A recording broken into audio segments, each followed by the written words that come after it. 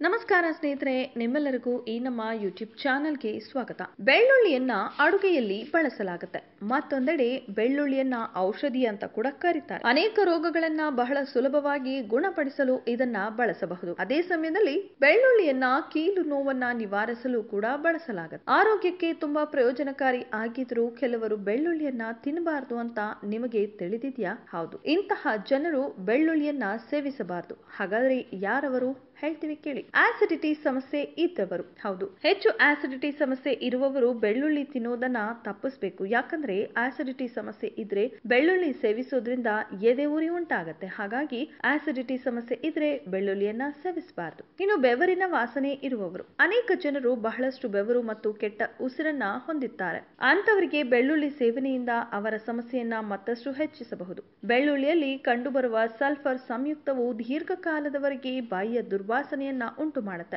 ಅಂತಹ ಪರಿಸ್ಥಿತಿಯಲ್ಲಿ ಬೆಳ್ಳುಳ್ಳಿಯನ್ನ ಸೇವಿಸಬೇಡಿ. ಯಾಕಂದ್ರೆ ಅದನ್ನ ಸೇವಿಸೋದ್ರಿಂದ ನಿಮ್ಮ ಸಮಸ್ಯೆಯನ್ನ ಹೆಚ್ಚಿಸಬಹುದು. ಇನ್ನು ಎದೆ ಉರಿ ಸಮಸ್ಯೆ.